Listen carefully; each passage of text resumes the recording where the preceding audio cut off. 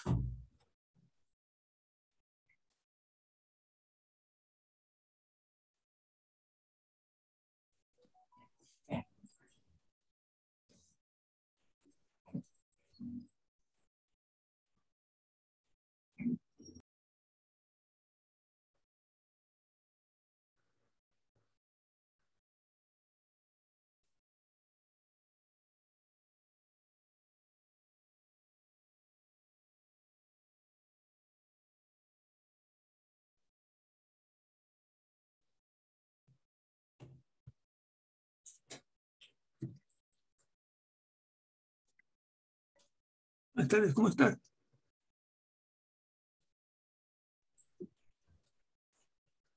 ¿Está el doctor Javier Burgos ahí? ¿Está Javier Burgos?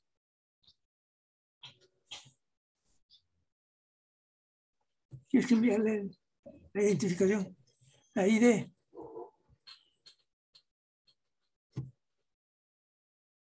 Envíale, el, link completo al correo, a la... A la, a la. Envíaselo entonces al, al chat.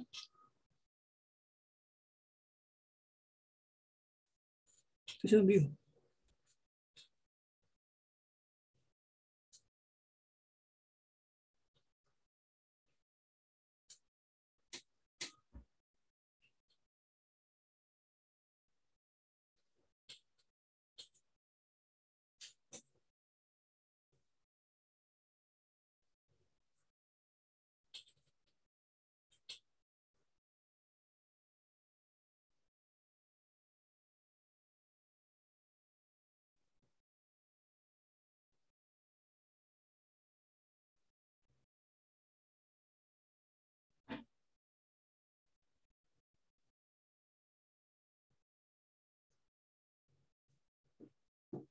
¿Cómo está, doctor? Yo, ¿Está acompañado? no.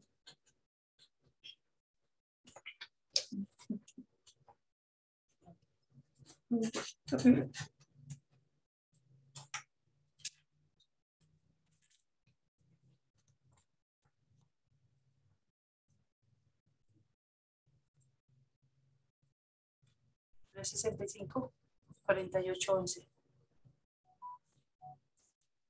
Cuando yo- Once.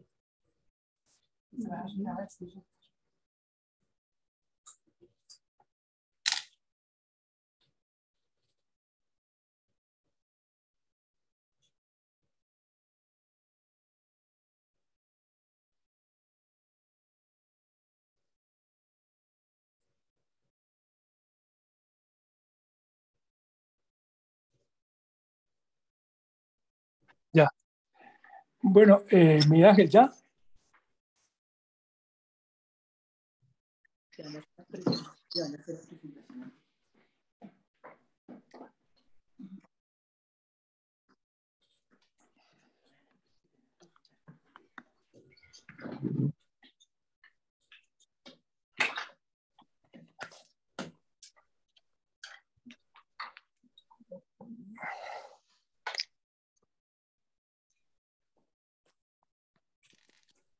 No, yo estoy, yo estoy bien.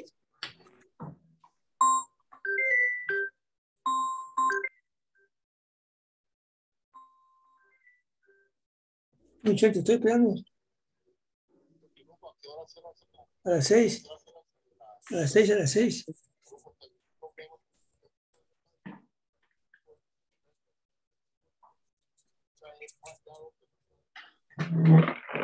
Bueno, perfecto, listo. Listo, listo.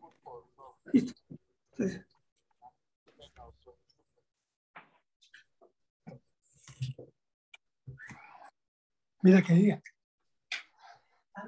¿Qué hubo, Miguel Ángel?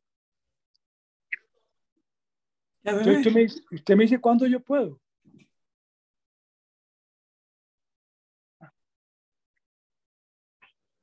Ah, bueno. Voy a, voy a hablar yo. La presentación de la Sociedad de Historia de Medicina hoy a cargo de Álvaro Sotomayor, es médico oftalmólogo, miembro de la sociedad. Habla sobre la evolución. El comentarista va a ser Javier Burgos, biólogo, ecólogo, matemático. Doctor, doctor Sotomayor, comience.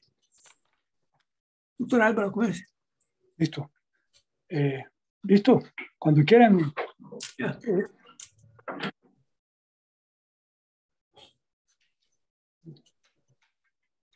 ¿Dónde la veo yo? ¿Cómo la veo ya? ¿Ya comienzo? ¿Ya? ¿Ya comienzo? Espera. Ya. Ok.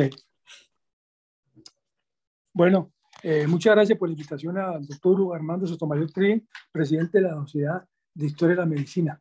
Eh, me ha presionado con mucho cariño por tres meses para hacer esta reunión, porque sabe que es un tema que me gusta. Esto es un tema bien interesante y pues, que une muchos conocimientos. Es la segunda charla que yo tengo oportunidad de dar como miembro de la Sociedad Colombiana de Historia de la Medicina. La primera fue sobre historia del vidrio, un enfoque cultural, eh, técnico y científico. Bueno, entonces vamos a comenzar sí, con la siguiente, por favor. Eh, eh, yo soy miembro de la Sociedad Colombiana de Historia de la Medicina desde 2005 y tengo aficiones, entre ellos la parte de astronomía. La siguiente, por favor. Esto es una presentación para mostrar fundamentalmente la línea que hay en el conocimiento, que desde 1980 de alguna manera le vengo haciendo un seguimiento a todo lo que es eh, la parte de la evolución del cerebro en relación con la visión en los primates. Y al final de esta diapositiva, como ustedes ven, alcanzan a ver que es de mil, en el 2017 que se va a decir algo específico sobre, sobre eh, los conos, y lo, fundamentalmente. Sigamos, por favor. En 1980, cuando termino mi especialidad en 1979, tengo la oportunidad de conocer eh, muy de cerca el trabajo de Hubert Wessel, que es el Premio Nobel de Medicina. Él es un fisiólogo que se entusiasma muchísimo por la visión y el cerebro. Él inventa el electrodo eh, para poder estudiar más a fondo todo lo que es la fisiología. Y el sistema visual es el que da hasta cierto punto una enorme facilidad para entender eso. Igualmente, en esa época yo sido influenciado profundamente por uno de mis profesores de fisiología en la Universidad Javeriana, el doctor Arturo Murillo Quiñones, fisiólogo. Con él, fundamentalmente, él marcó un derrotero en mi vida como oftalmólogo en el placer y en el gusto de aprender la fisiología. Siguiente, por favor. Aquí vemos que la Academia Nacional del Liceo, o del LINCE, perdón, se fundó en 1603. Es la primera academia científica que hay en el mundo occidental, por lo menos desde que lo, se conoce. Ella perteneció eh, como sexto miembro, séptimo miembro en Galileo. Y él firmaba siempre eh, eh, Galileo y ponía después el nombre de Liceo, que quería decir que estaba muy honrado de pertenecer al liceo, ¿sí? Porque para él era un honor pertenecer a una academia tan prestante como esto. Ellos tienen como animal fundamentalmente el lince, porque pensaba que era un animal muy agudo en su visión. Entonces la charla va de, de la etología, la anatomía, a los genes, a las moléculas. Y fundamentalmente hay una cosa que de alguna manera he aprendido hace mucho tiempo, que comparar es una herramienta de trabajo. Por favor, la siguiente. También aquí hemos puesto dos frases de Yves Copé, un antropólogo, paleoantropólogo, que escribe dos frases muy importantes, o las encuentra y las coloca en sus libros, que es muy importante que, eh, que, que, que, dice, eh, cuando ya no sepas a dónde vas, date la vuelta y mira de dónde vienes. Eso es válido para una nación, para una familia, para un individuo. Igualmente, como esto está empatado, que es una charla, en el fondo, la relación que hay entre el hábitat y los primates cuando desaparecen los árboles, los, los árboles, desaparecen los monos. Y eso pasa con cualquier eh, animal y cualquier hábitat. Siguiente, por favor. El primate fundamentalmente se puede definir como un animal entre el cielo y la tierra. Esta diapositiva lo marca, lo ve muy bien, un animal que está volando sencillamente porque ha calculado, tiene seguridad en sus brazos, tiene seguridad en sus movimientos para guindarse y quedar cogido o trepar posteriormente a un árbol. Siguiente, por favor. Nicho se define en cualquier parte que es el lugar donde se vive, donde se mueve, y en general donde se alimentan las especies, donde se une con otro individuo, donde se defiende. Y ningún animal, y menos nosotros tampoco, hemos evolucionado aparte del medio ambiente, absolutamente ninguno. Los primates han sido profundamente dependientes del medio ambiente. Siguiente, por favor. Nuestro hábitat, entonces, original, aquí lo subrayamos partiendo del principio de una idea de Sussman, que es nuestro hábitat original son los angiospermas, que eso va a explicar al estar conviviendo, viviendo en ese hábitat, a la luz de los conocimientos que vamos a desplegar, nuestra anatomía, la fisiología, habilidades y comportamientos. Hay fundamentalmente en los primates, como lo veremos, un predominio visual. Nuestro reflejo refleja nuestra dependencia de la vía visual, porque estamos inmersos en un mundo profundamente visual. Siguiente. Siguiente, por favor. Bueno, un primate, el nicho es fundamental, es el espacio ecológico, es el medio arbóreo de las angiospermas. Estamos aquí hablando de árboles, porque las angiospermas se caracterizan por otras cosas muy importantes, pero aquí hablamos de árboles. Se ha definido hasta ahora que los angiospermas han dado los árboles más altos. Se ha calculado un árbol hasta 132 metros de alto, una enormidad, que está entre la mitad del camino del cierro. Es un mundo aéreo, pero unido al suelo y los animales se adaptaron a un tipo de locomoción entre los árboles que es trepar, saltar y colgarse. Por favor, la siguiente. En la selva húmeda, donde van a estar las angiospermas, que es el nicho que será el nuestro, se va a encontrar que hay una gradiente de luminosidad de la parte más superior de los árboles emergentes al dosel hasta, hasta abajo de 100 veces hasta el 2% en la radiación al suelo. Entonces, aquí estamos hablando de algo supremamente importante en la visión, que es el concepto de contraste y ver a través de la penumbra. La siguiente, por favor.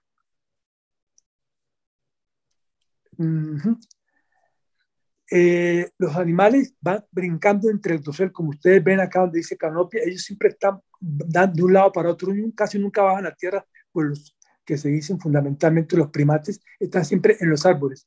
Hemos tenido oportunidad cuando uno va, por ejemplo, a una ciudad y tiene ciudad caliente en la costa atlántica y ve los eh, micos, los primitivos, eh, los, los, eh, los, perdón, los, los, ah, los aulladores, van siempre entre dos y dos brincando.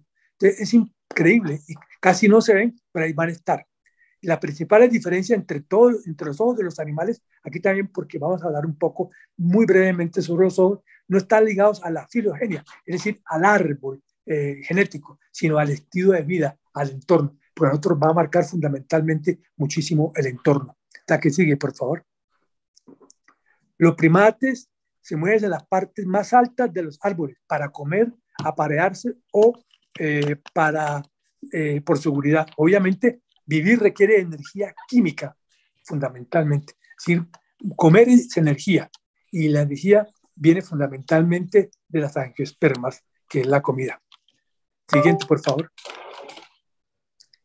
Eh, el movimiento que se requiere entre los árboles, como ustedes se dan cuenta de la diapositiva, requiere una enorme destreza, porque hay espacios vacíos, hay espacios muy grandes que el animal tiene que moverse sin la seguridad de que está pisando firme tiene que, tiene que estar pendiente hasta su peso, su gravedad. Es consciente de lo que pesa, de lo que se va. Hay una, una coordinación exquisita entre el ojo y la mano.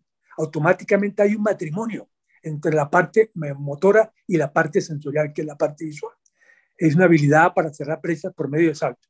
Ese medio exige una visión de tridimensionalidad que va a explicar lo que ustedes saben perfectamente de los primates, que es la, los ojos completamente al frente, frontales. Aquí hay una, y obviamente una percepción del color, una buena resolución y diferenciar contrastes. Eso con respecto a la percepción del color, hay una discusión que ya se ha saldado hasta ahora en el año 2017. La siguiente, por favor. Entonces vamos a entrar a un tema muy interesante. Ya hemos pasado más o menos, grosso modo. Vamos a ver que uno de los secretos para la vida es la luz es muy importante. La luz ha demostrado ser una fuerza impulsora de la evolución y promotora de una gran diversidad. Junto con la luz hay otra cosa muy importante que es otro secreto de la naturaleza, que la naturaleza desarrolló la transparencia para que la luz llegue donde tiene que llegar. Sigue, por favor. Entonces vemos acá del señor Eric Nilsson, es un evolucionista extraordinario del concepto de la visión. Hace unos dos esquemas, el primero que está a la izquierda y el de la 8, el segundo que está a la derecha, lo complementa. Va a ser que es alta eh, visión de alta resolución es cuando hay lentes y que está relacionado con la visión activa. la otra parte inferior es que no hay lentes, está fundamentalmente dedicada a la visión de orientación en el hábitat. Nosotros pertenecemos obviamente, después de determinado tiempo de la evolución, a la visión activa, al cuarto nivel. Sigue, por favor.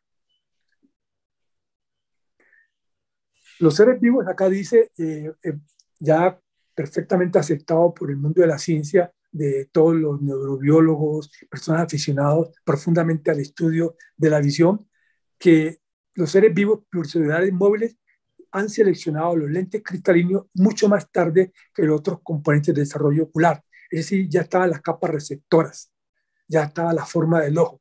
En última instancia va a llegar el ojo. Y, es, y al agregar un sistema óptico, aumenta la captación de la luz y se produce la imagen, la visión propiamente dicha. Es decir, la evolución en algún momento determinado inventó la evolución, la necesidad por parte de los animales. Aquí hay que decir que los primeros animales que tenían visión no lo sacaron, digámoslo así, de ellos mismos, sino a través de ingerir calcita que estaba en la tierra. Sigue, por favor, la siguiente. La siguiente, por favor. Eh, aquí hablamos uno de mis profesores virtuales, que Mitchell Lang murió hace poquito, el año pasado, una persona dedicada completamente a la evolución del ojo, nos enseña y nos dice que complementa la idea anterior de Nilsson y hace un trabajo que si se añade un lente cristalino, se llama lente en, inglés y en castellano decimos cristalino, que ya es un adjetivo de transparencia, que a un animal que no tiene un cefalópodo se vuelve cuatro veces, 400 veces más sensible al tener lente que es una relación de mil veces mejor. Acordémonos nosotros los oftalmólogos que cuando operábamos y hacíamos cirugía de catarata y no le colocábamos lentes porque no había, después se ponían gafas. Y era la gafa cuando el paciente veía. Entonces, sin lente es muy complejo tener una visión como se tiene. Sigamos, por favor. Siga, perfecto. La luz, entonces, la vida la utiliza para dos propósitos fundamentales. Eso es la luz en la vida. Uno, para eh, obtener energía útil, que es lo que hacen las plantas a través de la fotosíntesis. Y dos, lo que hacen eh, también las plantas y los animales, especialmente para transportar información. Por favor, la siguiente.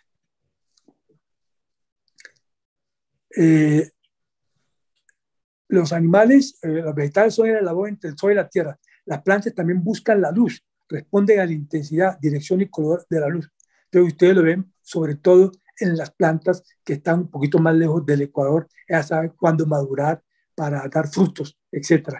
La luz es energía, vida para ellas. Esto es un libro que yo recomiendo a todos porque habla mancuso de la nación de las plantas. Nosotros nos debemos fundamentalmente a las plantas. Sigamos, por favor.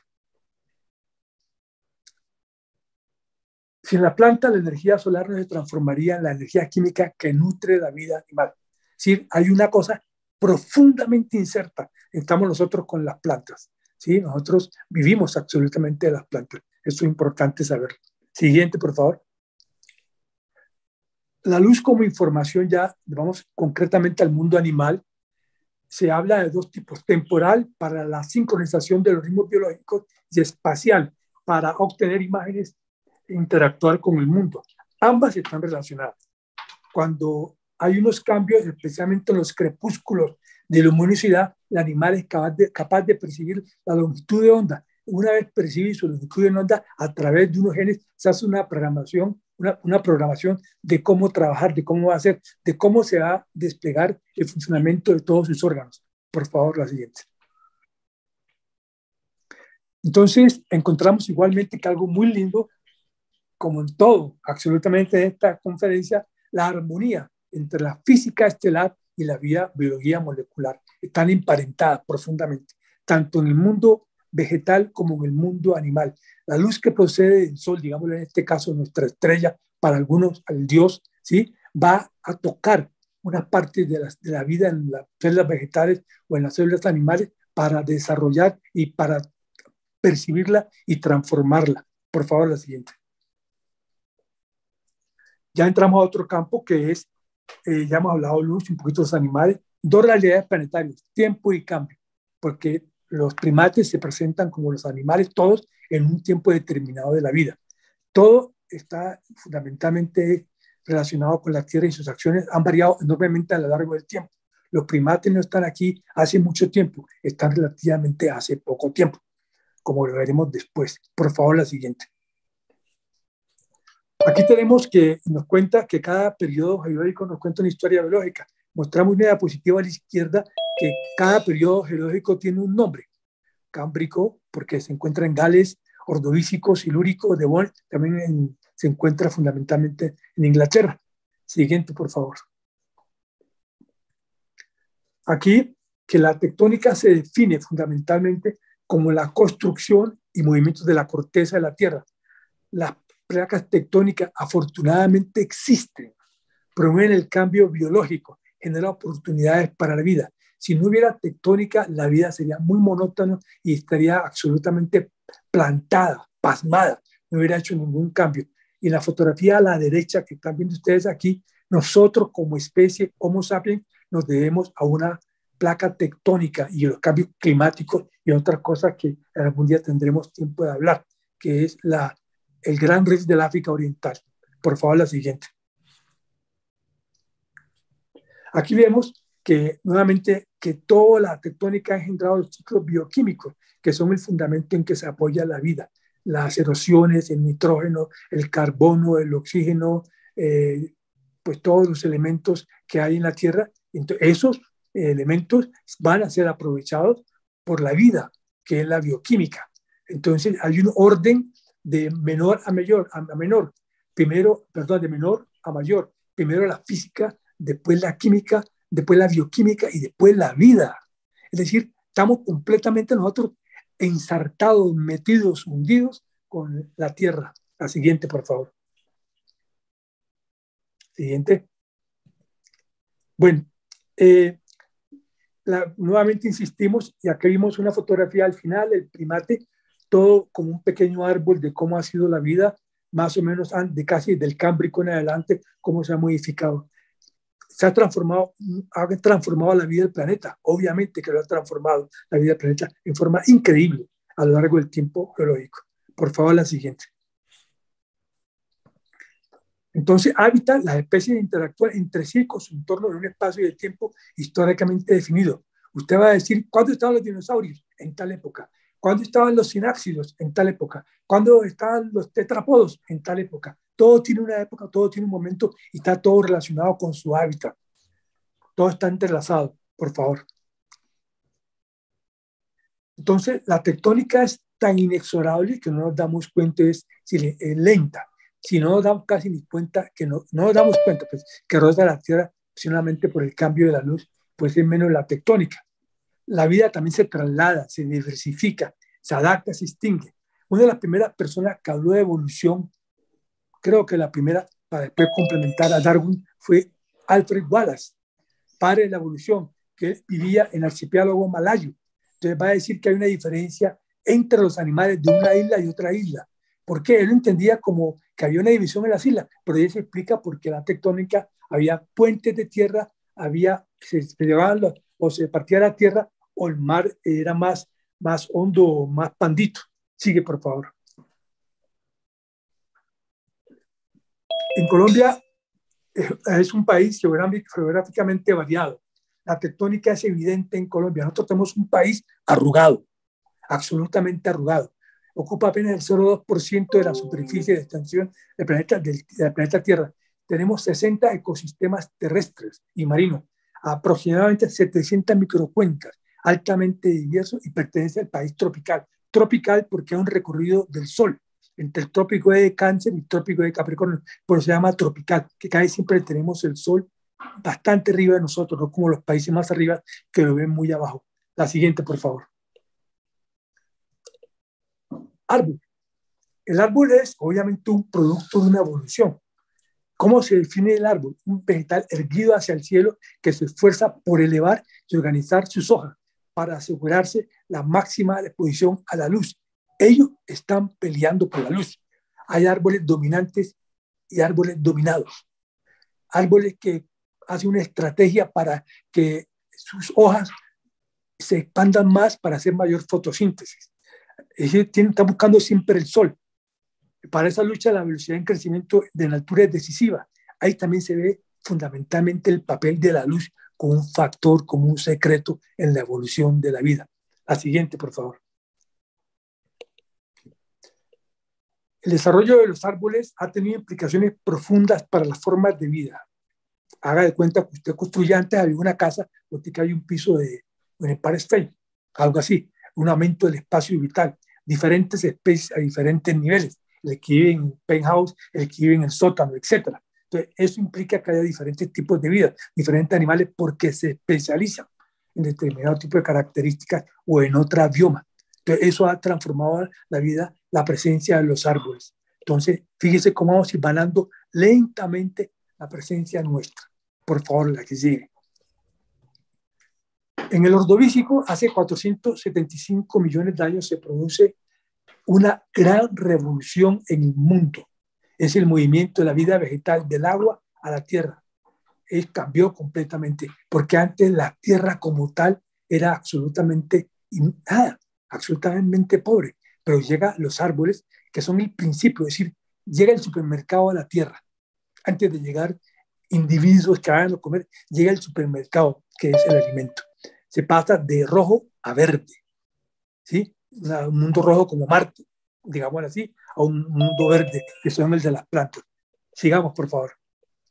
Entonces, después de eh, tantos millones de años, casi 50 millones de años, aparecen las primeras, primeras plantas vasculares, es decir, lo que va a permitir que llegue hasta la raíz, que se profundice, que se alimente de la tierra, que haya los cambios de los micronutrientes y que después vaya a intercambiar los productos de la fotosíntesis con el agua. Son plantas vasculares que se van a producir fundamentalmente en el devónico.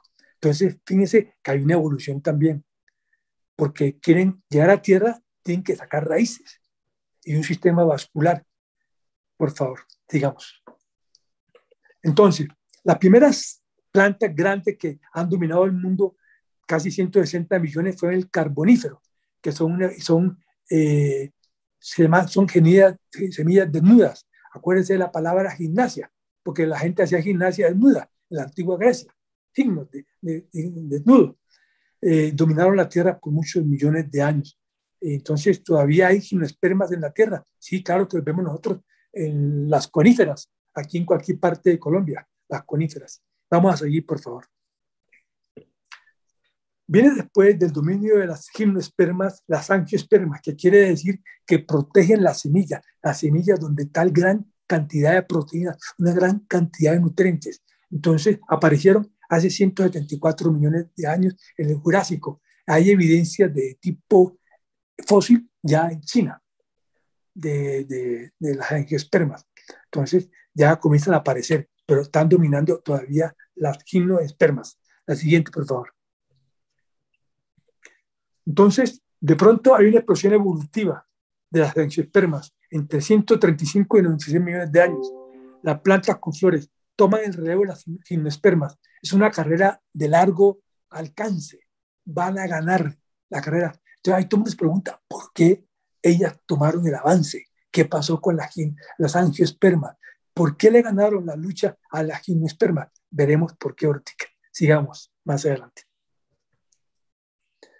Eh, hay una, publicación, antes que nada quiero agradecerle de seguir adelante a Paola García, la bibliotecóloga absolutamente importante para mí en la consecución de los cientos de artículos que yo tengo hace muchísimos años trabajando y eh, al día, hasta hoy, hasta día, pero un artículo para estar absolutamente al día, porque los libros son muy buenos, porque son una guía, pero los artículos lo mantienen a usted actualizado, porque hay muchas personas que están pensando lo mismo y que están dando nuevas ideas. Se rompe Pangea. Entonces ya los, las, angiospermas están. Y al romperse Pangea, permite que las angioespermas se diversifiquen, de acuerdo también con la latitud, con la longitud y otras características. Vamos a seguir, por favor. En el Cretácico hay una explosión del color. La primera planta con múltiples colores. Fíjense que hay un estímulo para muchos animales, que es el color en tierra. Antes en el mar existía, porque los peces siempre están, llega hasta determinada profundidad la luz, pero en la Tierra no, pero entonces tiene que haber un, un estímulo enorme que son el color. Antes el mundo era diferente, llegan las, eh, las angiospermas, comienzan a tomar el relevo, las angiospermas. Bueno, ¿y cuál es el éxito de las angiospermas? Porque nosotros tiene que tener una explicación con una mente de tipo inquisitiva. ¿Cuál es, un trabajo también que aquí lo presentamos en dos en dos artículos que revisé, que es que desarrollan un genoma pequeño. Un genoma pequeño permite que la planta produzca variedad enorme de fotosíntesis. Es enorme, porque al producir un genoma pequeño hay más volumen de, de, de, ADN, de producción de eso. Esa es la producción, entonces más pequeña, permite una mayor absorción de oxígeno, un mayor recambio para producir más materia eh, orgánica. Sigamos, por favor. Eh, entonces, cuando llegan las angiospermas, hay un icónico desarrollo también de los insectos. Los insectos comienzan a proliferar, que son una rama de los artrópodos que están en el mar. Comienzan a proliferar los, eh, los, los polinizadores. Vemos acá las primeras aves posiblemente ya en aquella época se habla posiblemente de aves ya pequeñas, que son la evolución de los dinosaurios, ¿sí? Y de algunos mamíferos. ¿De acuerdo? Sigamos, por favor. Sigamos. Por favor, la próxima diapositiva. Bueno, las angiospermas son dominantes sobre la Tierra hace 125 millones de años. Son enormes árboles. Este árbol es precioso. Este árbol se puede decir que tiene más de 100 años. Es un árbol que nosotros conocemos a fondo aquí en la familia que se llama el árbol del campano. Entonces, están aquí hace tiempo eh, los árboles, eh, hace dominantes 125 millones de años. La siguiente, por favor. Las angiospermas eran al final del Cretácico el 40%.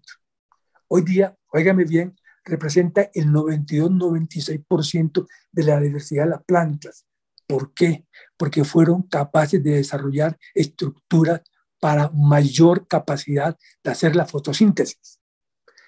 Hoy día hay 400.000 especies de angiospermas versus eh, mil de gimnospermas. La pelea la ganaron las angiospermas. Se adaptaron perfecta más, perfectamente más a un recurso casi inagotable, que es la luz. Por favor, la siguiente.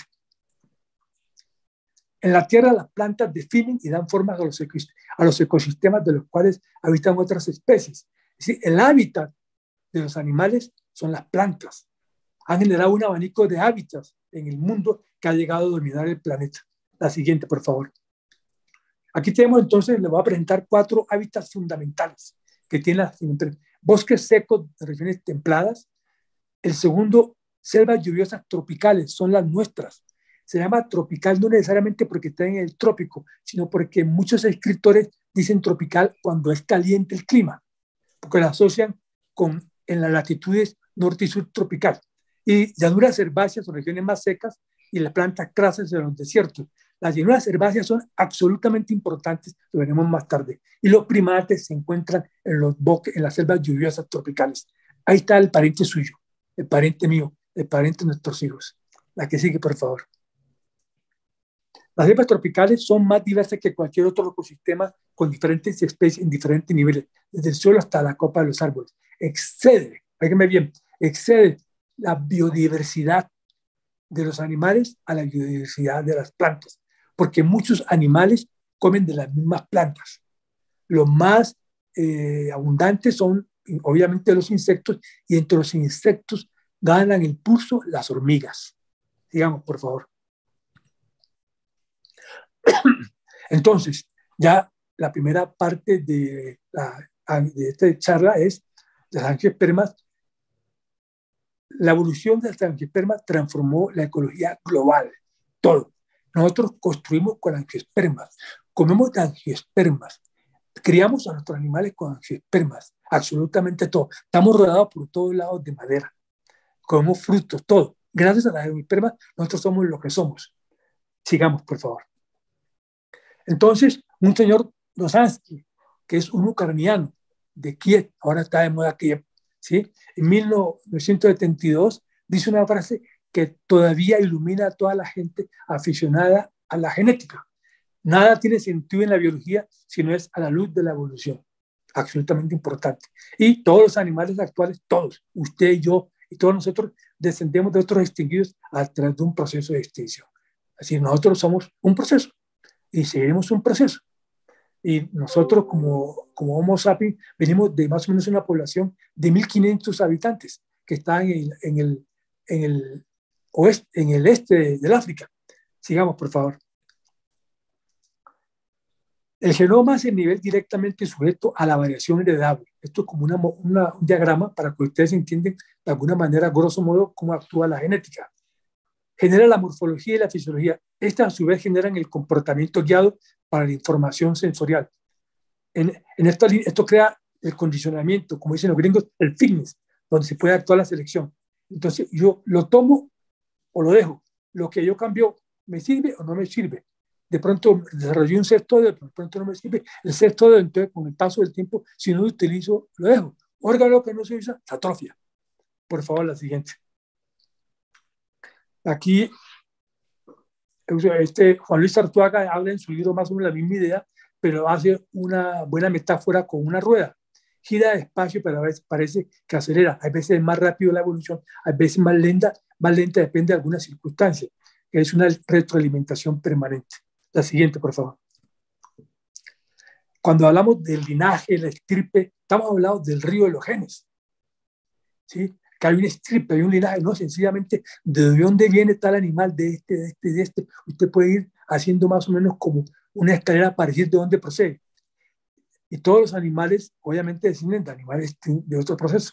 Lentamente, insensiblemente, van cambiando porque desaparecen algunos genes y aparecen otros por mutación. Uno por selección, otro por mutación. Esa es la esencia de la evolución. Por favor, la siguiente. Ya entramos, ya hemos hablado de las plantas, hemos hablado de tectónica, la relación con las plantas, la relación de las angiospermas con la luz y la evolución. Ya entramos un poquitico más al parentesco, a los primates. Por favor, la siguiente. La selva requiere una lectura fina.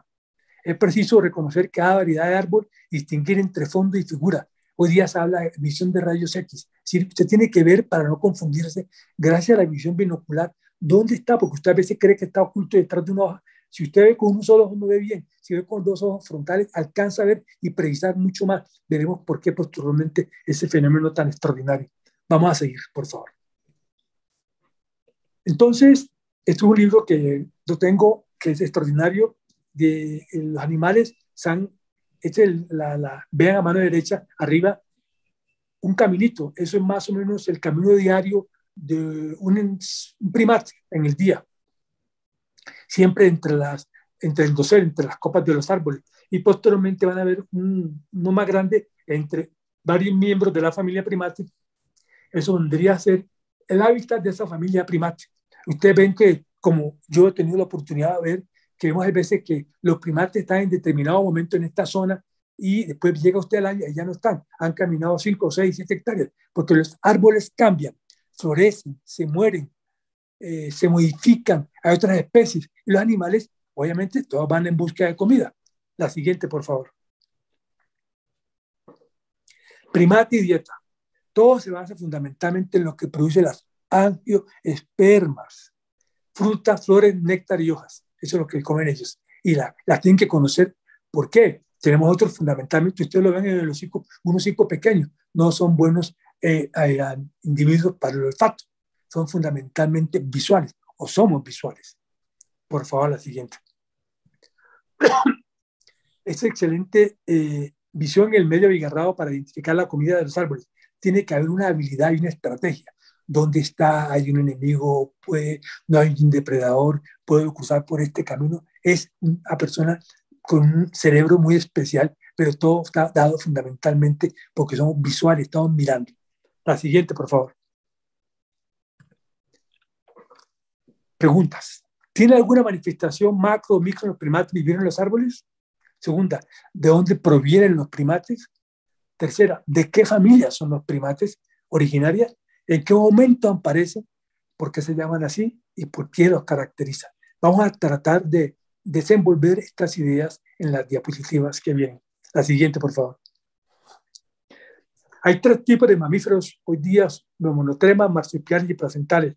Se dice que los primates, los, perdón, los mamíferos iniciales hace 240 millones de años y son evolutivamente el resultado de los sináxidos, que es unos parientes de los saurópidos. Los saurópidos son los parientes de las aves y de los cocodrilos. Y nosotros venimos de este pariente que está acá abajo, que tenía unas aletas dorsales que parecía que hacía regular un poco la temperatura. Y estos señores vienen a través, hace más o menos 300, 400 años, de los tetrapodos, que fueron los primeros peces que salieron a, tierra firme. Entonces, se encuentran fundamentalmente, es el mapa del Triásico. Aquí se encuentran.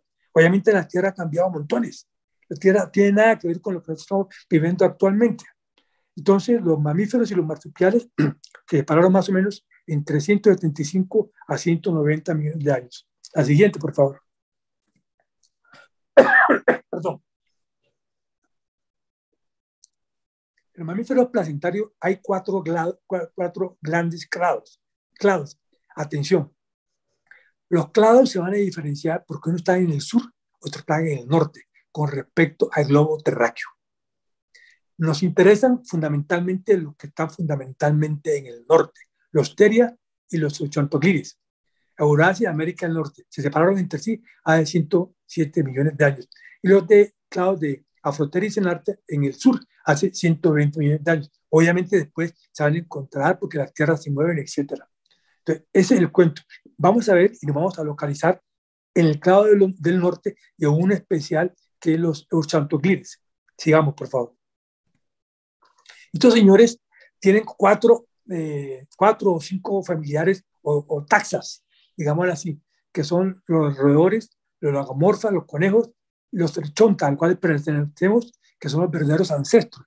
Hay que nosotros tenemos musarañas de árboles, escadentes y primates.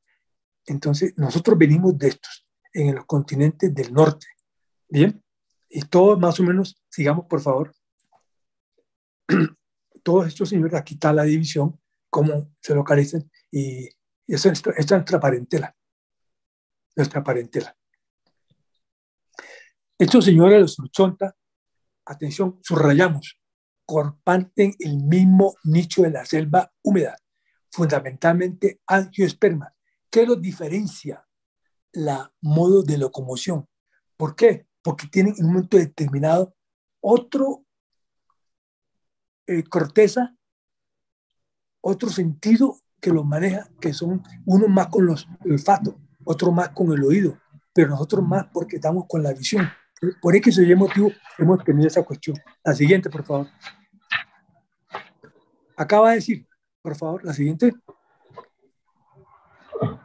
¿Cuándo aparecieron los primates? Los primates aparecen en el Eoceno, porque aquí está una, una mapa del, del Eoceno y un primate arriba en el norte. Aparece más o menos entre 55 millones de años. ¿Por qué? ¿Qué pasó en el, en el eh, este es el perro mío, un por aquí que no, que no es de por acá, está por otro perro. Entonces los primarios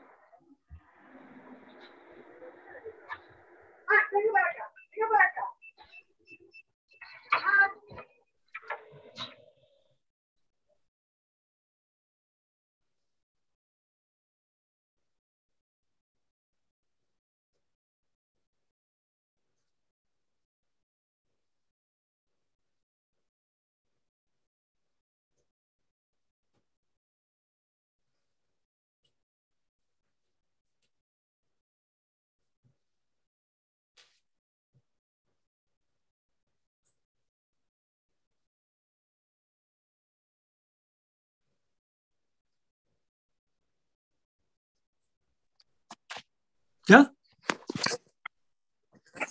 Aquí hay un perro por allá. Bueno, perdónenme. Entonces, devuelvo. Bueno, los primates aparecen en el océano. En el océano aumenta la temperatura hasta 8 grados, pero en toda la Tierra, hasta los polos, ya hay, hay temperaturas de 8 grados. Eso va a cambiar. Entonces, ahí están los, los, los primates, los primates que van a aparecer. Sigamos. En un periodo de 10.000 años aparecen los primeros verdaderos primates, los eoprimates, en 10.000 años. Parece que todo se relaciona con un aumento súbito del carbono atmosférico. Dicen que tuvo que haber alguna cosa en los mares que se comenzó a elevar profundamente la temperatura. Aparecieron en 10.000 años, hace 55 millones de años. Aquí tenemos en el océano. Sigamos, por favor. Esos eh, primates aparecen al tiempo con otros señores que pertenecen a el continente del, norte, los artidactilos y los presidactilos, que son que tienen pezuñas impares o pares o, dedos pares en las patas que después convierten. Estos animales después van a, a transportarse, a viajar por todo el mundo por diferentes características. Entonces vamos a tener tres que llaman las APP, los tres clados dominantes en el mundo los artidactiles, los presidactiles y los primates. Esos somos nosotros. Sigamos, por favor. Eh, ¿Cómo se clasifican los primates? El primero que los clasifica es un botánico, Carl Linneo, que es un sueco, ¿sí?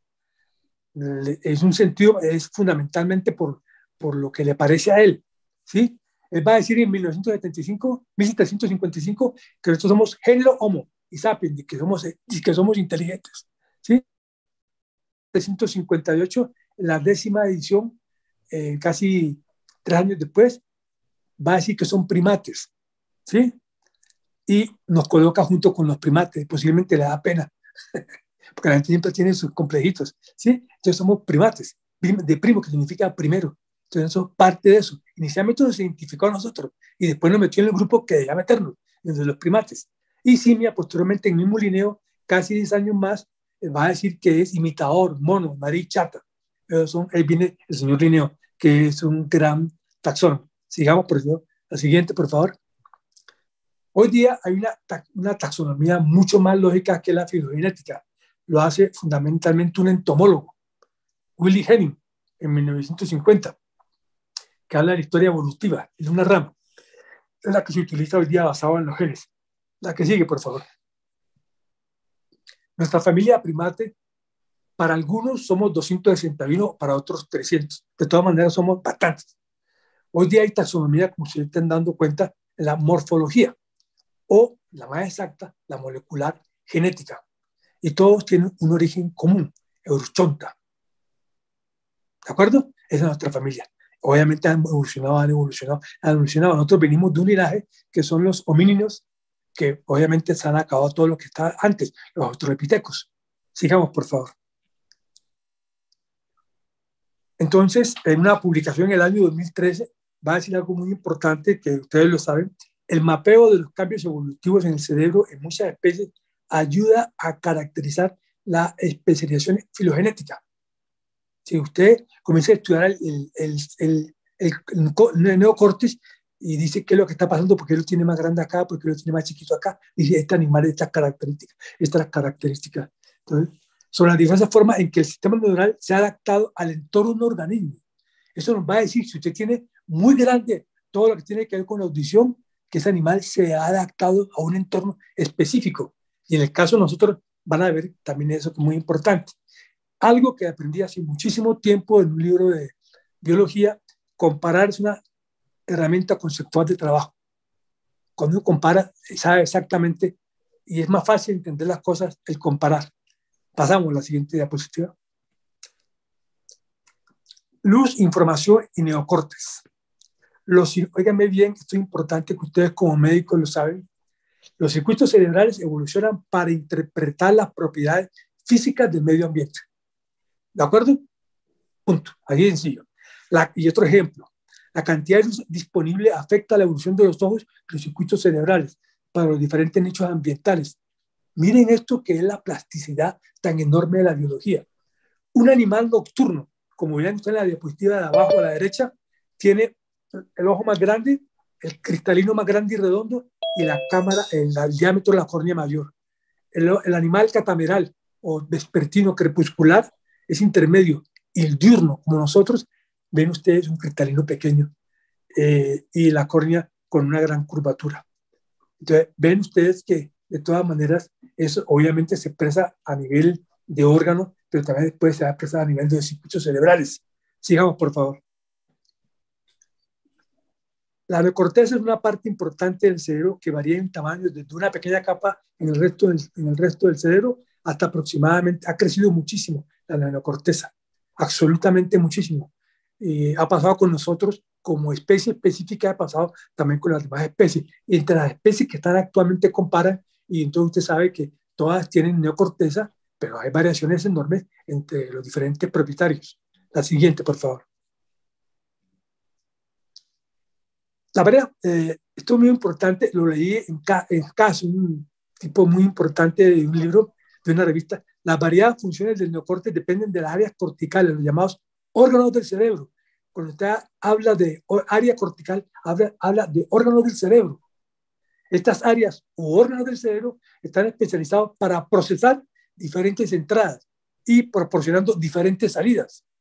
¿De acuerdo? Le entra, pero le sale. Eferente y aferente. La que sigue, por favor. El tamaño de la densidad neuronal varía a través de la corteza cerebral de los primates, al igual que el resto de los mamíferos. La corteza cerebral de los primates es diferente, pero en general, eh, y la más grande de los primates, sin lugar a dudas, es la visual. Es asombrosamente enorme. Y no solamente enorme, sino más grande o más alta densidad más neuronas empaquetadas, es decir, más información, ¿sí? Y que tiene y mucho más eh, densa que la corteza eh, mm, motora. Tiene una gran cantidad de información. Y aquí hay que decir que eh, los primates también tienen en general las cortezas, la densidad de las cortezas cerebrales en diferentes partes del sistema es mayor que todos los demás primates, animales, que son demás mamíferos. Es decir, nosotros estamos un caso increíble, igual que las angiospermas. Sigamos, por favor. Aquí vemos nosotros este libro, esta, esta publicación del año 2015, que después y antes ha sido eh, seguida y hecho con diferentes métodos, van a ser categóricos. El área B1 y B2 son hasta 2.5 y 1.7 respectivamente más densa, más menores. Es decir, poder computacional respectivamente que el resto de la corteza de los primates. Acuérdense que la luz en los animales tiene dos, información temporal e información espacial. Entonces nosotros tenemos esa gran característica. Sigamos, por favor.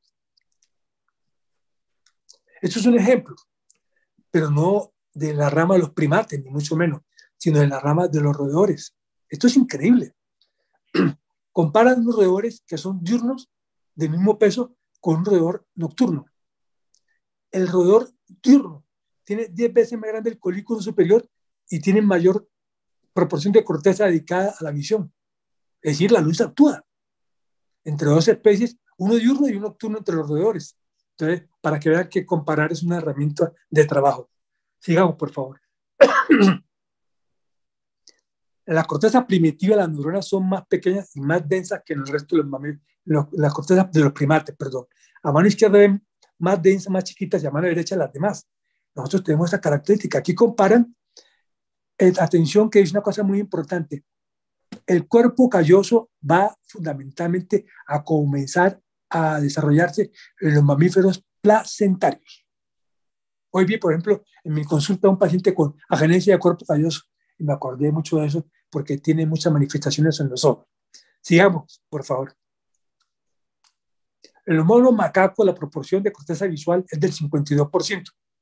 En los humanos está cerca del 27%. ¿Pero por qué es diferente? Porque en los humanos ha crecido, otra corteza enorme, que es la corteza que tiene que ver con la cognición, con el lenguaje, etc. Pero entonces vemos acá. Entonces, seguimos un altísimo porcentaje de, de corteza eh, visual. Entonces, características en términos adaptativos de los, de los que, uno, que todo el mundo aprecia, desde el más ignorante en los primates. Ojos mirando al frente. Aumento del tamaño de las órbitas y su convergencia.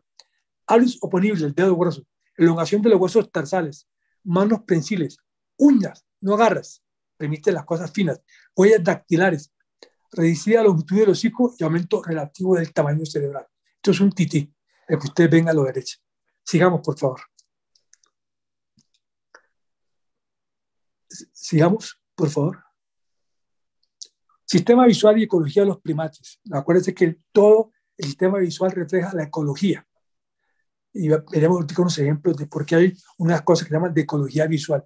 Usted ve los ojos de un animal desde la pupila en adelante y sabe ese animal a qué medio entorno y en qué momento de la actividad de las 24 horas se encuentra. Entonces, sistema visual de los animales, los ojos mirando al frente la mejor visión binocular entre los mamíferos y casi que entre los animales en general.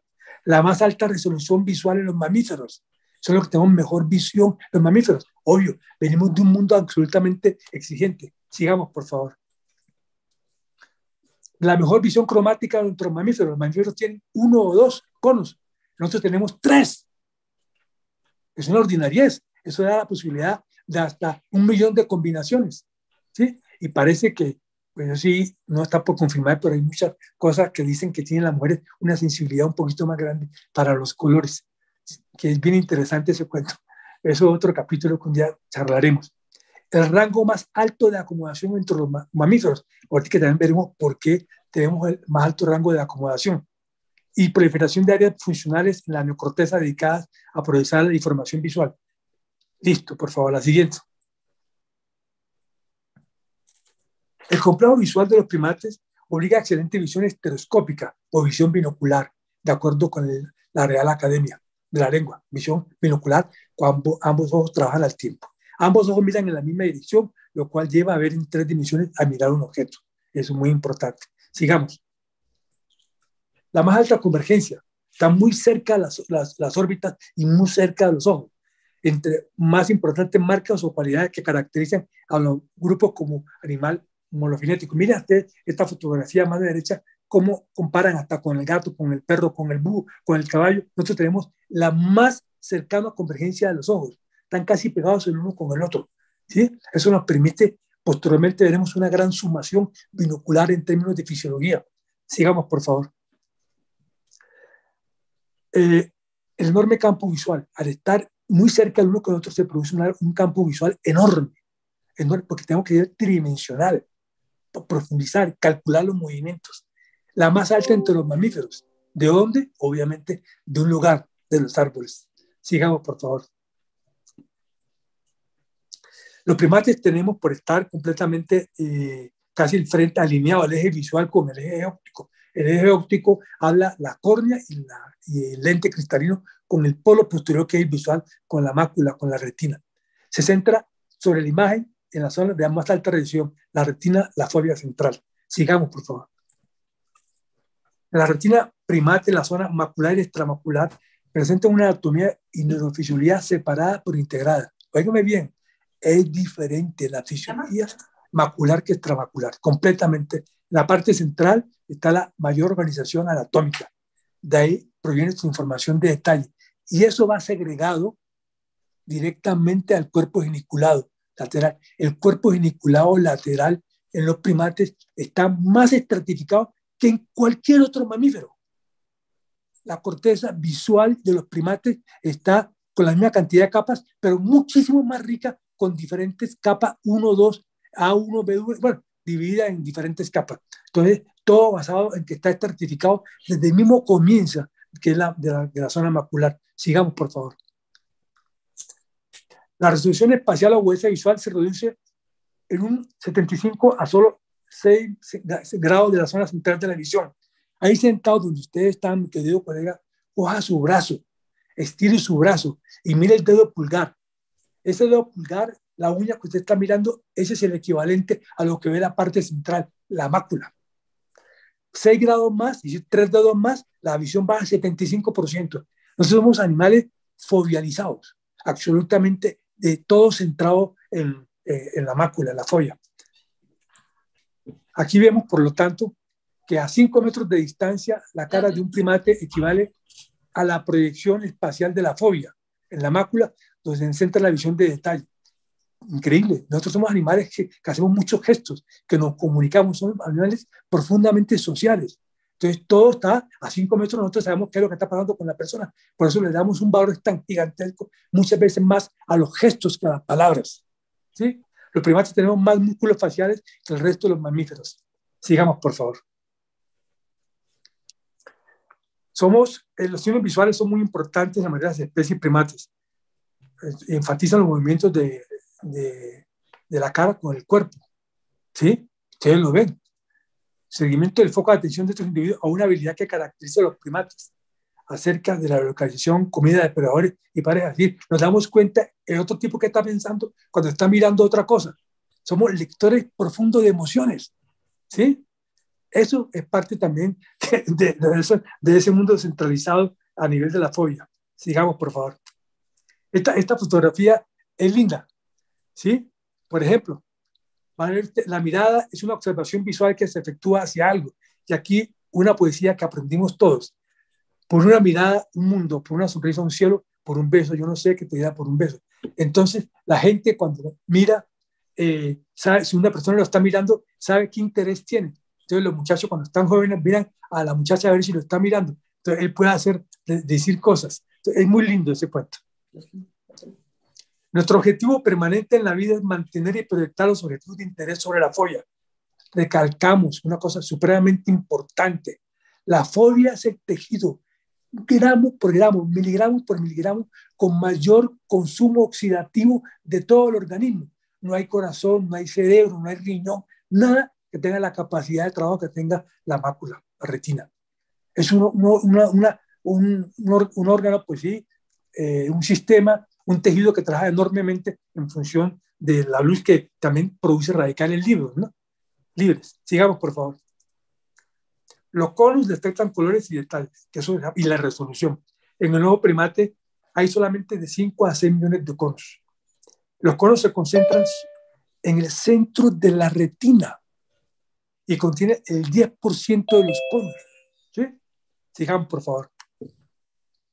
Esa zona central es la parvonuclear, la que va directamente relacionada con el detalle y con el color. Atención, que va estratificada al, cuerpo geniculado y a la, a la, a la correctora cerebral. Y en la folla hay una relación entre un cono y una célula ganglionar. La zona extramacular es lo que nos da a decir, por ejemplo, lo que por los lados que hay movimiento, no hay movimiento. Y usted lo va a ver muy bien, por ejemplo, si ya tienen un, un, eh, un hobby o un pasatiempo como es pajarear. Usted inicialmente no ve el pájaro, sino pronto algo que se mueve. Entonces usted voltea donde se mueve. Usted tira la mácula para allá, tira el ojo para allá, va a centrar lo que le llama la atención. Es una complementación extraordinaria. Vamos a seguir, por favor. Entonces, la presencia de la fobia, que es este hundimiento en la mácula, aquí lo este pintada en la mácula, es un factor importante en el desarrollo de la corteza visual. Óigame bien, esa mácula ocupa menos del 1% en toda la retina y tiene una representación en la corteza occipital visual más del 37%, una vulgaridad. Es una vulgaridad. Por eso es tan triste las enfermedades maculares, que da la persona supremamente limitada. Sigamos, por favor. Entonces, la más alta concentración de neuronas ganglionares se presenta en la retina central. Ahí decimos que vamos un cono con una ganglionar. Es la más alta de los mamíferos. Los, demás mamíferos no se encuentra jamás eso. Aquí hay uno por uno. Es decir, increíble. Tocó a usted solamente con uno. Eso va creciendo. En cambio, en la retina total hay 1.200 células ganglionares y el 50% provienen de la mácula. Es una ordinaria, extraordinario. Sigamos, por favor. Aquí vemos un macaco, una, una, una, una tabla de comparación, los animales son 100% los animales, los primates, diurnos. ¿Sí? Una vez no entiende por qué a la gente le gusta la oscuridad tanto, cuando somos absolutamente diurnos. Nosotros estamos hechos para el mundo diurno, no para el mundo diurno. Obviamente eso ha cambiado cuando la gente inventó la luz. Vamos a seguir, por favor. Gracias a la diferencia entre los pigmentos de los conos, se mejora la discriminación a distancia entre las hojas jóvenes y maduras, hojas y frutos y entre frutos maduros y sin madurar. Claro, ustedes de lejos saben, vale la pena caminar 10 ramas. No, si aquí no está, no está maduro, este está maduro por el color. Sencillamente una selección natural, que es el color. Eso lo da sencillamente cuando estamos viviendo en el hábitat. Entonces, a nosotros nos moldea, nos modula muchísimo eso. La discriminación de color da ventaja de un reconocimiento más rápido y mejor memorización de cosas coloreadas. Si van mil taxis y va un taxi verde diciendo el color verde, ya sabe dónde está. Lo que tiene que mirar, no se equivoca, este es el verde, no son los amarillos. Entonces ya usted claramente tiene eh, más elementos conductales. Sigamos, por favor. Aquí vemos una eh, fotografía de muchos cerebros de primates. Entonces, en Científica Report, ya repensando el origen de los primates, es categórico. Desde el origen ancestral, los primates, evaluando 33 genes, son, todos tienen fobia y tienen mácula y todos son diurnos. Una cosa de lo que uno puede decir, ha habido, ha habido mucha discusión de eso, pero enorme cantidad de discusión. Pero esto sí ya, la, tapa, la, la tapa de botella, ya todo a nivel molecular para decir, activar 33 genes, decir eso es extraordinario. Vamos a seguir, por favor. Acá dice 33 genes, filogenias de, de genes de transducción, fueron de actividad diurna, mecanismo que se retuvo de los estudios ancestrales. Es decir, por algo estaba. Nosotros veníamos de los allá, tenían que ver, tenía que ver algo que los motivaba a que se desarrollaran algunas cosas o que se desarrolle la evolución. Sigamos. Contraste es algo muy importante. Contraste es algo propio de que el tejido absorbe color, entonces no, no, no, no lo traduce todo. Reconocer los objetos por lo que son bajo una amplia gama de condiciones de iluminación. Aquí hay una fotografía de una silla, la misma silla y todo, pero está más iluminada porque le llega más luz. Entonces, los animales tienen que trabajar en una jungla, unos árboles con eso. Tienen que reconocer entre la sombra, entre la luz. Entonces, eso implica muchísima neurofisiología. Vamos a seguir, por favor. Encontramos algo muy importante que es el cuello de botella. El nervio óptico es el cuello de botella en los primates. De ahí sale todo, pero sale segregado. Sale autopista para acá, este para allá, este para allá, este para acá, al cuerpo geniculado. La vía parvocelular, la vía magnocelular, la que está en la mácula, la que está en la periferia. Eso es el, el concepto de cuello de botella. Sigamos, por favor a lo macro siempre subyace, lo micro. Siempre cuando usted una cosa macro, siempre hay una cosa micro que lo explica. Es el concepto de organización retinotópica. ¿sí? Hay un mapa retinotópico. Obviamente, en la medida en que va llegando a la parte superior, se va ampliando ese mapa. Es ahí la razón, por ejemplo, ustedes como médico, la importancia a veces de hacer los campos visuales. Entonces, usted le da una información de qué puede estar afectado o no está afectado. Y obviamente, la fotografía mano derecha inferior es el grado de extraordinaria complejidad de la corteza visual, bien sea la B1 o la B2. Sigamos, por favor. La ubicación frontal de los ojos modificó la forma en que la información viaja al cerebro. Una representación expandida del campo visual central en la corteza visual, la más alta entre los mamíferos. No tenemos quién. Una enorme cantidad de regiones relacionadas con la visión, enorme cantidad de regiones. Es enorme. Sigamos. Binocular está formada con raíces latinas, significa relativo a los dos ojos. Sus componentes son vino doble, óculos ojos y ar, relación a pertenencia. Es el tipo de visión en que los ojos se utilizan conjuntamente. Se utilizan cuando? Para lejos, para cerca, para todas las cosas. Uno no está utilizando un ojo para una cosa, un ojo para otra cosa. Siempre. Por ahí, ustedes saben como colegas que en cirugía mucha gente dice, pero lo opero para cerca y dejo el otro para, para, para lejos. Es una estupidez. ¿Usted cómo va a operar a un paciente para cerca otro para lejos? Eso es un acto completamente ridículo, no conocer la fisiología de los ojos. Uno trabaja con ambos ojos porque ambos ojos tienen que sumar.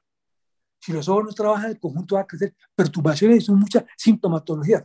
Entonces, es ahí la importancia de tener, como el caso mío, profesores de fisiología en la oftalmología, en la carrera de medicina, insistir en, en conocer la fisiología para hacer mejor práctica en su propio mundo. Sigamos, por favor. Acá dice, muy, aquí a los que les gusta la astronomía, el concepto de paralaje. ¿Sí? Paralaje, el ángulo formado por dos líneas de observación trazadas hasta un objeto desde dos puntos suficientemente separados.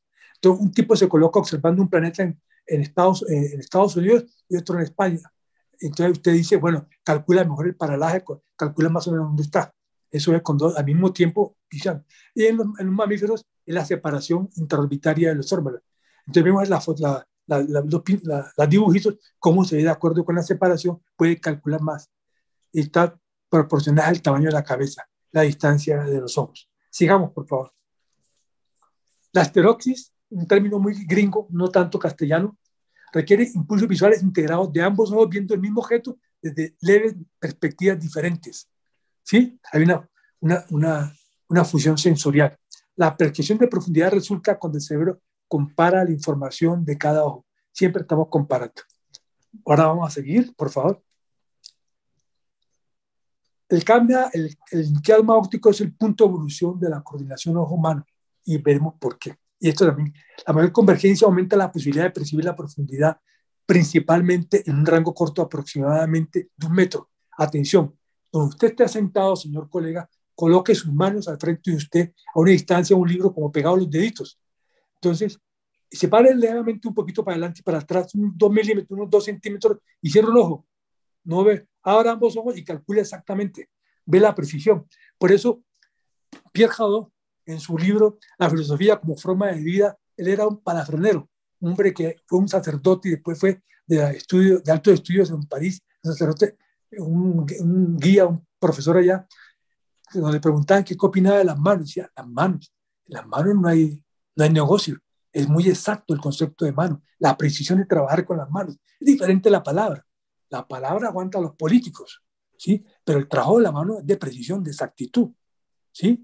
Es completamente de precisión total. O está exacto o no está exacto. El tipo de chambón es perfeccionista, ¿sí? Entonces, repito, háganla, pongan sus manos junticas, todos juntos, a una distancia, la para atrás, para adelante, cierren un ojo y ahora y vean la diferencia, la precisión milimétrica. Y acuérdense que la óptica es la parte más exacta de la ciencia porque trabajamos con milímetros y nanómetros. Sigamos, por favor. La visión binocular en primates, eh, entre 75 y 80% de las neuronas de la corteza visual primaria reciben información de ambos ojos. Estamos integrados arriba. En la torre estamos totalmente integrados. Es un matrimonio indisoluble. ¿Sí? Totalmente integrados. Sigamos, por favor. Acá viene algo que hablamos de el, el, el chiasma óptico. Los peces pasan de una vez de uno para otro. Los sápitos, inicialmente, antes de, de pasarse ya a tierrita un poquito, pasan un poquitico. Pero los que tienen más eh, de acusación somos, entre los vertebrados, somos los primates, hasta un 50%. Es increíble. ¿sí? Este es un estudio extraordinario, una, una que nos muestra la gran diferencia, por ejemplo, con los gatos, con los marsupiales. ¿sí? Nosotros tenemos una enorme diferencia en general los primates. Sigamos, por favor. Entonces, la sumación binocular, que es la fisiología de los ojos en última instancia, ¿qué lleva? ¿A qué conlleva la sumación binocular? Cada ojo lleva una corriente de información. Entonces va a mejorar la visión. Usted cualquier cosa que está mirando, lo mira con un ojo, lo mira con dos ojos, lamenta la visión. Punto de, de acomodación de cerca más, más exacto. Está usted eh, eh, haciendo una cosa exacta, tiene que tener los ojos para precisar exactamente dónde está. Un bar visual absoluto inferior. Percepción de objetos más brillantes. Mejora el contraste. El tiempo de reacción frente a un estímulo más rápido. Hay muchas razones para la visión binocular. Sigamos, por favor. La visión binocular en la, el contraste, un trabajo, 65 trabajos científicos hacen sobre, da la posibilidad de 2.5 más posibilidades de mejorar el contraste. ¿Se imaginan ustedes eso? Metido usted en una selva, en un monte, es diferente caminar con un solo ojo que con dos ojos. Usted ve mucho más, más contrastes. Cambiemos, por favor. Esto es muy lindo. Por eso dicen que la acomodación convergencia da la posibilidad de la cultura pues la cultura libresca de hacer con las manos. Y aquí un primate arriba con su mano donde trabaja el mayor espectro de la acomodación, que es el metro, la distancia de los brazos, donde está, el hombre trabajando la máxima acomodación. Y aquí una mujer cosiendo y este señor leyendo. Entonces está totalmente relacionado obviamente con las manos, con la postura, con las manos. Eso es importante. Entonces, ¿qué es en el contexto evolutivo? Porque todos los animales tienen acomodación pero es diferente la acomodación si es un pez o es un animal terrestre. Los peces tienen una bola en la, lente que se mueve para adelante para atrás, de acuerdo a que lo quiere, para lejos y para cerca. Los animales terrestres tienen un lente, un cristalino deformable, para producir una, una imagen más exacta en la retina de acuerdo si está distante o cercano. Eso en términos eh, evolutivos. Pero la acomodación de los primates también se basa en una micromorfología de los lentes cristalinos. Los lentes se dividen en cuatro tipos de lentes de acuerdo con la estructura del cristalino, de acuerdo con los nudos de las fibras del cristalino. Nosotros tenemos una eh, que llaman en Y, los primates. Entonces comparan en zoología eh, las características del lente cristalino. Es muy pequeño, le produce mantener un rango de acomodación muy bueno para los primates y sobre todo por largo tiempo que es lo que hacemos nosotros cuando estamos trabajando y estudiando, que podemos estudiar 10 horas, 15 horas y perfectamente estamos trabajando bien, gracias a la, al lente cristalino. Pero cuando usted lee y ejercita más, entonces mantiene más vivo el cristalino, más activo. Vamos a cambiar. Siguiente. Es el más alto rango de acomodación entre los mamíferos, entre los mamíferos. Aquí no contamos con las aves, que las aves pertenecen completamente a otro mundo, a los sauróxidos, que llega hasta 80 dioptrias primáticas eh, perdón, deuterias de acomodación, a diferencia de los mamíferos, nosotros los primates que llaman a 15. Y eso cuando, cuando somos jóvenes, porque todos los animales envejecen y pierden la acomodación, que eso es parte del proceso normal de envejecimiento. Vamos a seguir, por favor. Aquí esto ya es una pincelada química sobre la acomodación. No es igual aún entre individuos de la misma edad y todos los individuos son diferentes. Y puede haber un ojo que acomode más que otro porque tiene otros problemas de acomodación o otros problemas de refracción. Produce, hay rango, hay amplitud de resistencia, hay retraso, hay espasmo desigual, hay dominante de envejecimiento. ¿De acuerdo? Y eso, si usted no se da cuenta de eso en la clínica, produce la mano de, de extraordinaria de síntomas clínicas, muchísimos síntomas clínicas, porque, clínicos, porque la gente pues no le da mucho bola a eso, porque no, que la acomodación, la acomodación es importantísimo, es estar como bien sentado, es ver bien con sus buenas gafas. Si no tiene gafas, está bien corregido con lo que sea. Vamos a seguir, por favor. Sistema visual de los primates es ideal para tareas dentro de la longitud del brazo, en el campo visual inferior, donde se lleva a cabo la mayor parte de la actividad manual. Ahí está la acomodación. La acomodación está en el rango fundamental de nuestro brazo. ¿Sí? Ese es el primate. En esta misma zona eh, se lleva a cabo la acomodación del lente. ¿De acuerdo? Entonces, eso es muy importante. Por eso dicen la señora en la consulta, doctor, que la no me alcanza los brazos y los tipos tampoco me alcanzan los brazos para leer. Sigamos, por favor. Pero la visión binocular también puede ser en convergencia el mecanismo y el mecanismo de acomodación. El estímulo para una convergencia funcional es una imagen dispar. Cuando usted cuando hace una convergencia hay una imagen dispar, pero usted automáticamente hace una convergencia y hay una, un mecanismo de acomodación bilateral Sigamos, por favor. Está muy bonita eh, cómo los primates cogen la mano derecha, agarre de fuerza, agarre de precisión, que lo tenemos nosotros. Entonces, aquí repetimos que es fundamentalmente la parte que trabajan las manos. Vamos a seguir. Mm, eh, muchos animales dicen para agarrar, pero nadie igual a los primates. Jamás. Han evolucionado hacia una mayor movilidad de los dedos. Es increíble, pero también va a tener obviamente manifestaciones cerebrales. Esto es producto de algo. Si hay una relación entre la capacidad computacional y la parte de la sensorialidad. Sigamos. Entonces, la comparación entre los cerebros de primates y no primates indica que el sistema motor es más complejo y muestra una mayor cantidad de áreas premotoras, nueve o más que los primates que solo tienen dos o cuatro. Nosotros tenemos muchas más capacidades motoras en los brazos y en las manos que los demás animales. Es extraordinaria. ¿Por qué? Porque estamos, quieren mover las cuatro extremidades en forma absolutamente una para arriba, otra para abajo, para donde sea, para agarrar lo que sea. Usted ve un mono con una pata allá, un mono para acá, el otro para acá, cosa que no ve un caballo ni que ve un perro. Es increíble cómo trabajan en las manos. Los primates tienen un área premotora oriental que está involucrada en los movimientos de los brazos y la boca está relacionada con una mayor destreza en los primates.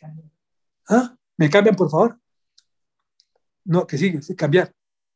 Bueno. Bueno, entonces yo estaba hablando, entonces no que cambiar.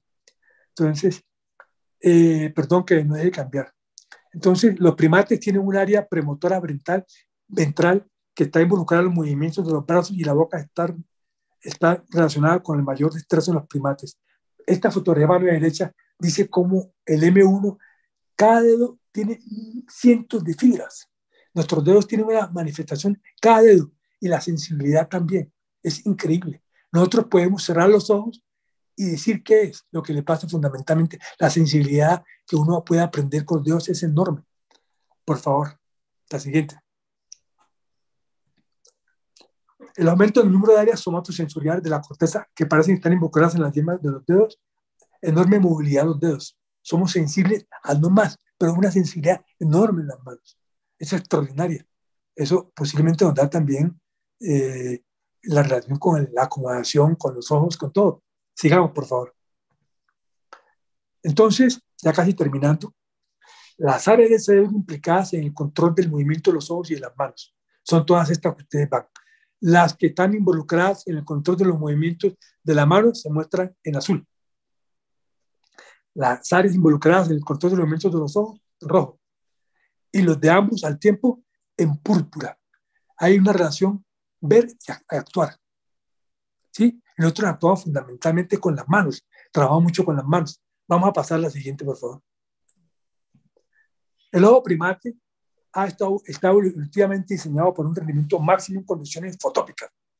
Nosotros somos hijos del sol.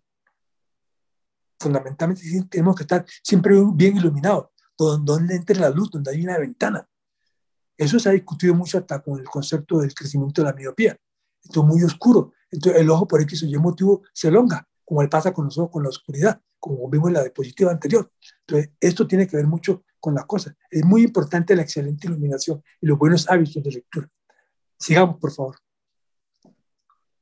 Característica del sistema visual del primate ya terminando. Entonces, convergencia orbital extrema, ojos orientados dirigidos frontalmente, alineamiento del eje óptico y visual, cuerpo geniculado lateral claramente estratificado, no lo tiene ningún otro mamífero alto grado de integración binocular, no lo tiene ningún mamífero.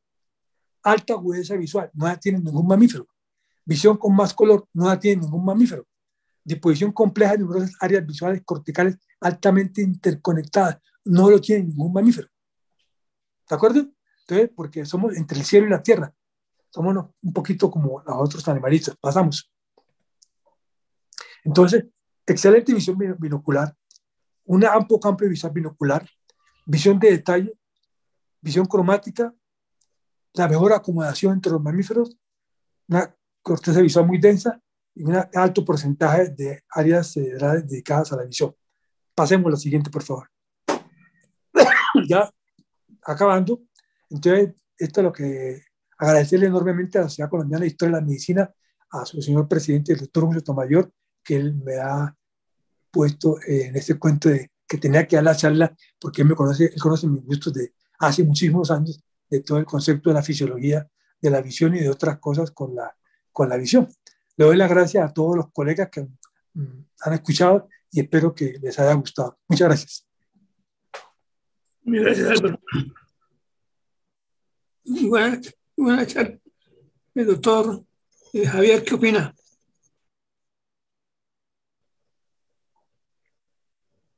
Buenas, buenas noches a todos. ¿Cómo me escuchan? Bien, bien, bien. Claro que sí. Ahí se ve usted. Perfecto.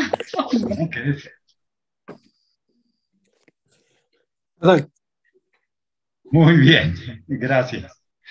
Eh, lo primero que quiero eh, decir es que pues quedé muy impresionado por la excelente exposición del doctor Sotomayor, eh, en la que hizo énfasis en un punto muy importante, que es el cómo se relaciona la evolución, y él eh, hizo mucho énfasis en la evolución humana, también con su relación con la evolución del ambiente, de la naturaleza.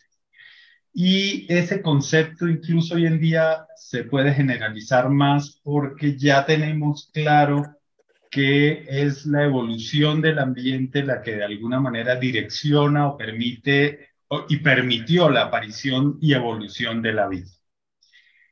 Eh, desde la aparición del primer ancestro común hace 3.500 millones de años, el famoso Luca, que ya se tiene caracterizado qué tipo de estructura genética podría tener, eh, y posteriormente eh, la aparición de la fotosíntesis que llevó a la explosión de la aparición de la vida hace casi 3.450 millones de años, viene y ocurre esa evolución de la naturaleza que de manera tan precisa describió el doctor Sotomayor, porque lleva al incremento a la producción de oxígeno en la, en la atmósfera, llegando a los niveles como los que tenemos hoy en día, lo que permitió la aparición de la vida compleja en el planeta. Dentro de esa aparición de la vida compleja, el doctor Sotomayor lo expresó con mucha precisión, eh, la aparición y el desarrollo de, las especies fotosintéticas y en particular de las angiospermas, que son las que, como él muy bien dijo, dominan el mundo vegetal hoy en día, es, y es la aparición de estos conjuntos de plantas y de estos ecosistemas boscosos complejos eh, permitió y posibilitó que se llevaran a cabo los procesos adaptativos que llevaron a la aparición de los eh, primeros eh, prehomínidos, después homínidos y finalmente de la especie humana, ya hoy en día se tiene eh, relativamente eh, aclarado, ah, cuando hay obviamente muchas diferencias, todavía hay muchas lagunas por investigar en la evolución de los homínidos y humanos. Pero eh, en esta fase inicial y hasta hace relativamente poco tiempo, siguiendo la línea de pensamiento que planteó el doctor Sotomayor, había esa interacción entre el ambiente o la naturaleza y el hombre. Eh, y, en y, previamente pues a las diferentes especies animales. Entonces, las especies se adaptaban a las condiciones ambientales. La aparición del, eh, Homo sapiens totalmente ligado y se ve eh, en, estudios publicados en muchas partes del mundo, está totalmente ligado a la variación de, los factores ambientales y climáticos. Eh, el doctor Sotomayor mencionó algo clarísimo y es que somos hijos del sol y lo somos en más de una dimensión. Eh, hay una que quiero mencionar que tiene que ver con la, variación de los eh, periodos glaciales a los interglaciales. Eso se debe a el movimiento de la Tierra alrededor del Sol y es lo que se llama efecto Milankovitch.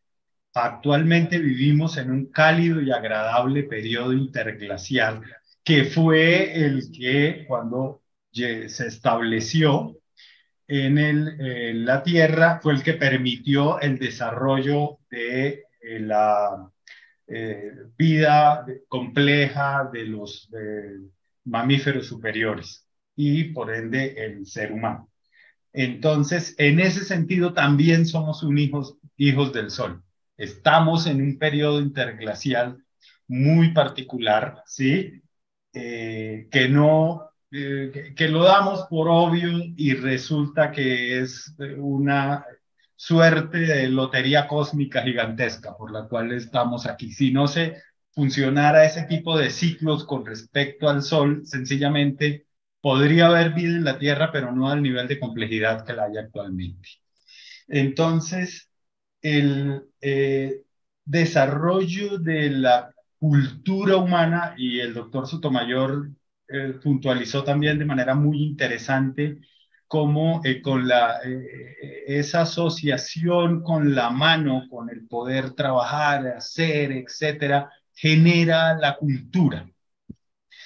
Y ahí empieza a cambiar un poco esa ecuación de el impacto de la naturaleza sobre el hombre que genera la cultura y la función contraria, qué pena, soy matemático, entonces pues hablo en esos términos.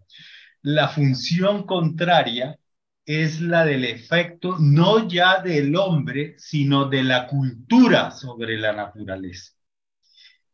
Y hoy en día quien interactúa con la naturaleza es nuestra visión cultural desde el punto de vista humano y eh, el desarrollo tecnológico humano está cambiando la ecuación de eh, la naturaleza actuando sobre la cultura y generándola inicialmente a el punto en que ahora la cultura es la que está afectando a la naturaleza por primera vez en toda la historia de la evolución y de la vida en la Tierra, con los ejemplos que estamos viendo de cambio climático que están a la orden del día. Entonces, el reto que tenemos actualmente eh, es básicamente entender que esa interacción que posibilitó nuestra aparición, que posibilitó el que estemos en el nivel de desarrollo que tenemos, nos obliga, nos reta a generar un movimiento global que nos permita proteger nuestro hábitat cuando fue el hábitat del que nos permitió llegar donde estamos. Digamos, es como una deuda eh, no histórica, es geológica que, tenemos eh, con, con, nuestro planeta, nuestra biosfera. Y para terminar, esta visión, esta hipótesis que, que, defendió muy hábilmente el doctor Sotomayor de eh, la evolución del ambiente y la evolución humana es la que está en el corazón de la búsqueda actualmente de la vida o de otros vida en otros planetas y en otras eh, galaxias en el universo, porque se ha definido siguiendo ese tipo de concepto lo que se llaman las zonas de habitabilidad planetaria, que son unas zonas eh, eh, colocadas a, una distancia determinada eh, o una serie de planetas colocados a una distancia determinada de su Sol que permiten en teoría la posibilidad de generar ambientes que generen vida. Entonces, eh, la idea de la exobiología ahora es que ese mismo tipo de mecanismos que explicó el doctor Sotomayor magistralmente en su charla, es la que nos va a permitir encontrar señales de vida en otros planetas. Entonces, bajo esa misma visión es que se está desarrollando toda la temática de exobiología moderna, la noción de habitabilidad planetaria. Entonces, este tipo de desarrollo sí es algo que se discute mucho, pero hasta el día en que no encontremos vida eh, de manera eh, incuestionable en otro planeta, eh, no podremos saber si los desarrollos fueron similares o no a los, el tipo de patrones como los que describió el doctor Sotomayor. Pero es un problema abierto que esperamos eh, obtener una respuesta en relativamente poco tiempo, porque pues el último gran eh,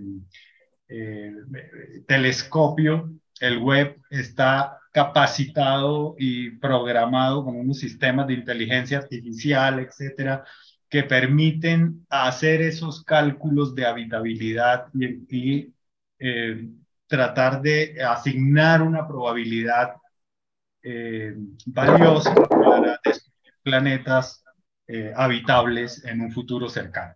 Entonces, venimos de esa relación con el ambiente y vamos hacia el futuro a esa relación eh, con el ambiente, pero ya no solo en nuestro planeta, sino pensando en la habitabilidad planetaria. De nuevo, eh, gracias por la, Hugo, por la invitación. Y de nuevo, doctor Sotomayor, eh, muchísimas gracias, creo que en nombre de todos, por su excelente y muy actualizada presentación. Muchísimas gracias. Gracias, Javier. ¿Algún comentario? ¿Otro comentario? No tiene nada, que decir. Bueno, si no, es más, cerrar la, la reunión. Gracias.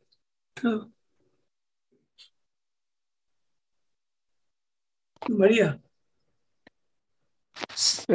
Sí. No, darle un sincero agradecimiento al doctor Mayor, extraordinaria la conferencia. Nos ha ilustrado de una manera admirable y pues más queremos todo al sentido de la vista quienes tenemos comprometida la, la mácula. Entonces, mil gracias. Me gustó muchísimo, la he disfrutado mucho y pues la recomendaré porque como queda para que muchos la vean, le diré a mis colegas que no se pierdan esta magnífica exposición. Mil gracias. ¿Algún otro comentario? Bueno, si no, entonces vamos por terminar la reunión. Gracias. Hasta luego. Gracias. Gracias. Buenas noches. Muchas gracias. Buenas muchas gracias a noches. todos.